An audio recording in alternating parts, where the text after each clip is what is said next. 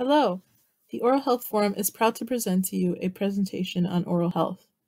We're going to explore ways on how to improve our oral health and why it is important to do so.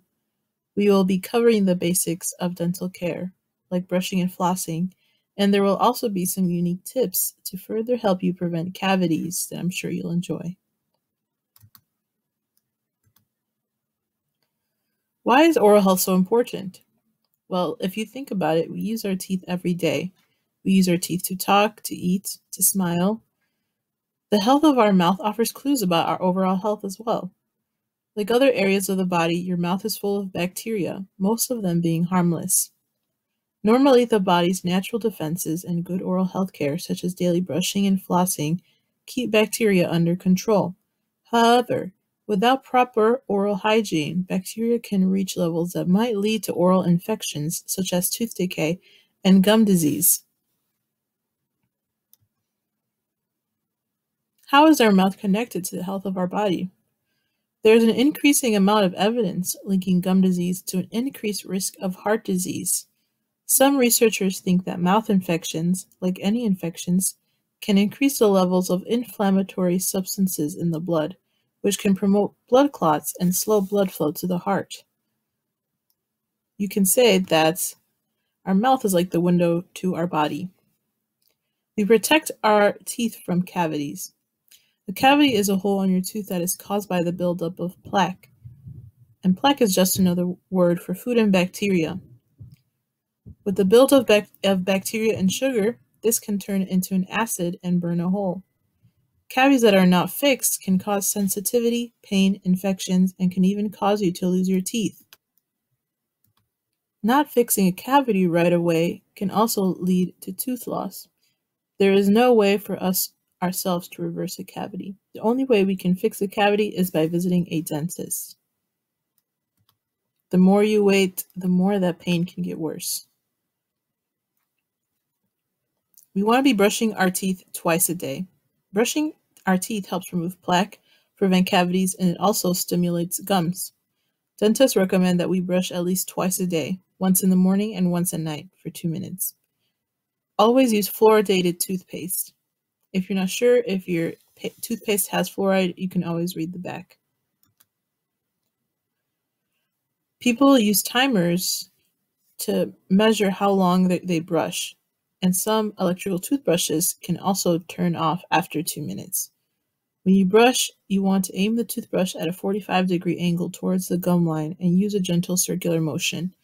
And of course, you'll want to repeat on the inside surfaces. Here's a video that visually shows us the accurate way to brush our teeth. You can find this video on our website. What sort of toothbrush should you use? The American Dental Association recommends to use a toothbrush with soft bristles. It's important to replace your toothbrush every three months in order to inhibit the spread of bacteria. Either manual or electric toothbrushes can be used effectively. Just as brushing is important, flossing is also important as well. Flossing removes plaque, cleans small spaces, and prevents gum diseases like gingivitis. You want to be flossing at least once a day, preferably in the evening time after you're done eating. Some gum diseases like gingivitis is reversible and preventable, but left untreated, gingivitis can progress into periodontitis. This disease can lead to the loss of teeth. Some symptoms of gingivitis include red and puffy gums that bleed easily when the person brushes their teeth. Here are some stages of gum disease.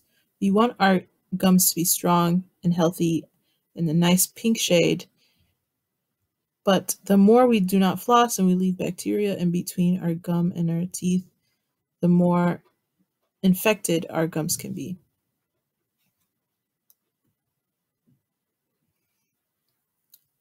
How to floss properly. So you want to break off a piece of floss about arm's length. Wrap the floss around two of your fingers.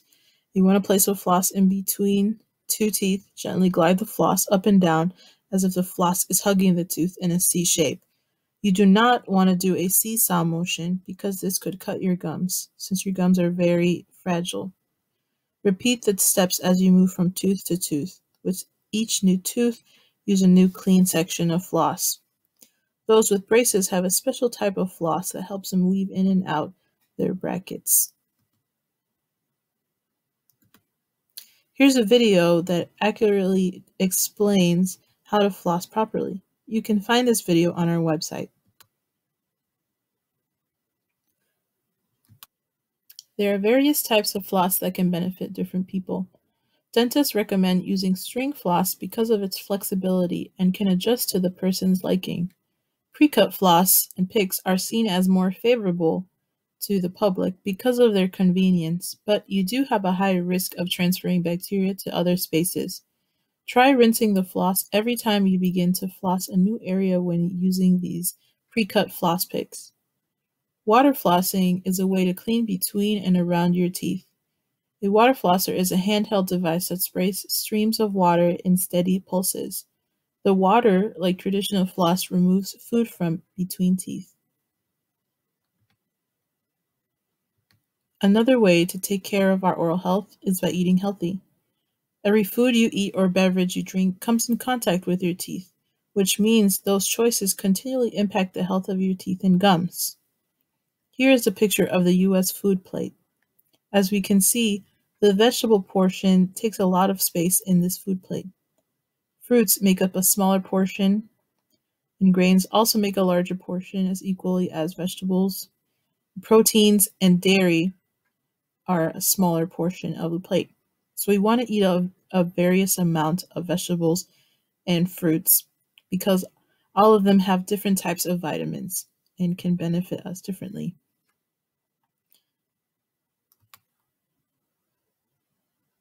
Here is a condensed chart that explains which types of foods you should be eating more of and less of.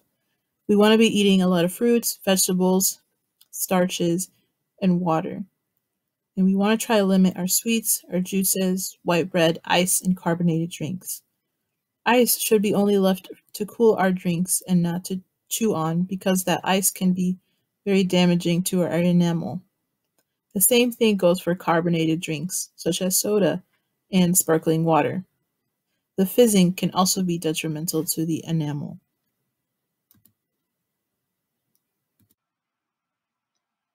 Another great way to protect your teeth is chewing sugar-free gum.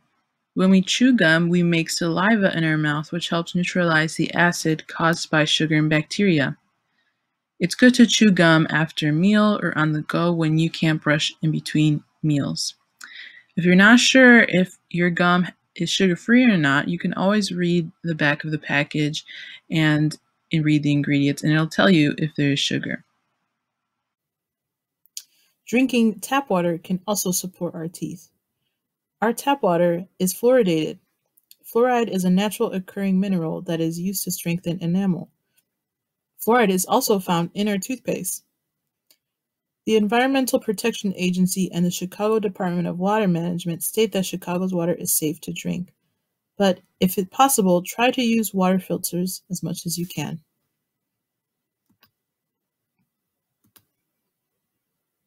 Mouth guards are also very important to take care of our teeth.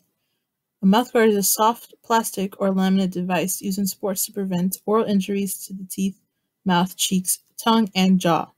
The use of a mouth guard for collision sports can prevent more than 200,000 oral injuries to the mouth each year.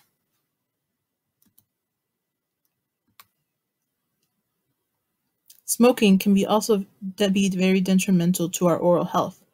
Smoking can lead to stained teeth, bad breath, tooth loss, gum disease, loss of taste and smell, reduced blood supply to the mouth, and increase our risk of oral cancer, which we'll be talking about a little bit later in our other slides.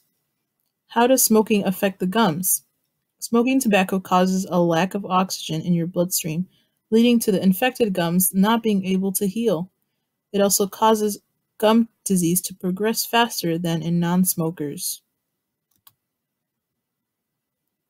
Vaping is seen as less harmful than smoking, but it is still not safe. E-cigarettes heat nicotine flavorings and other chemicals to create an aerosol that you inhale. There is still a lot unknown information about vaping. But as of January 21st, 2020, the CDC confirmed 60 deaths in patients associated with e cigarettes or vaping. Research suggests vaping is bad for your heart and lungs. Nicotine is the primary agent in both regular cigarettes and e cigarettes, and it is highly addictive. It causes you to crave a smoke and suffer withdrawal symptoms if you ignore the craving. Nicotine also can be addictive as heroin and cocaine.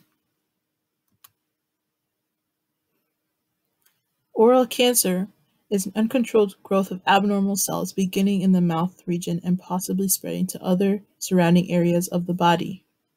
Oral cancer can affect your lips, cheek lining, gums, tongue, floor, roof of mouth, and the back of your throat. Some symptoms include a sore or irritation that doesn't go away, red or white patches, pain, tenderness, or numbness in mouth or lips, a lump, thickening, rough spots, crested areas, difficulty chewing, swallowing, speaking, or moving, your tongue or jaw. People with poor oral hygiene or dental care and HPV may have an increased risk of oral cavity cancer.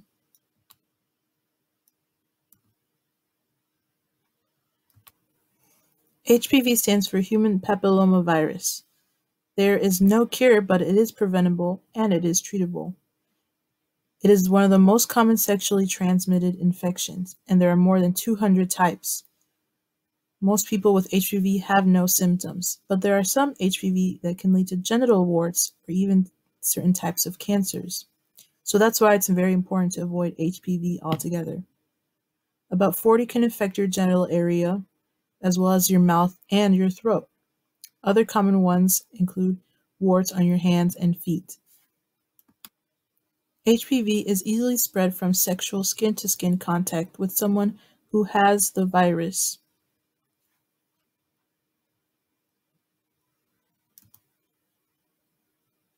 How can we protect ourselves from HPV? There are vaccines that can protect us from HPV's HPV, and we can use condoms and dental dams when having oral sex. Genital warts can be also removed from your doctor. High risk HPV can usually be easily treated before it turns into cancer, which is why it is very important for women who are sexually active to have a regular pap smear once every three years. There is currently no reliable HPV test for men, so that is why um, it's important to see symptoms and if you see anything that is not that shouldn't be there, you should visit a healthcare provider routinely.